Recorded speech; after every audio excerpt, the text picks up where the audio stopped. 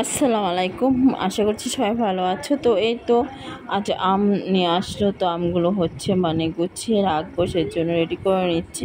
তো সকাল হচ্ছে মানে সকাল কি প্রায় দশটা বাজে। তো মেয়েদেরকে হচ্ছে নাস্তা দিচ্ছি।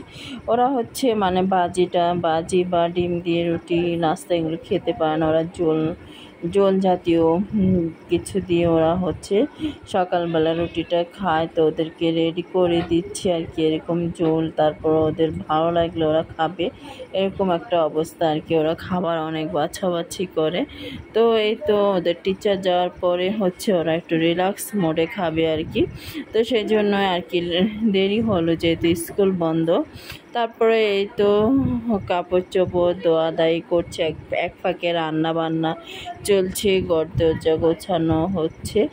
আর এই ফাঁকে হচ্ছে রান মানে কাপড় চোপড় দেওয়া সব কিছু দেওয়া পরিষ্কার করে নিলাম।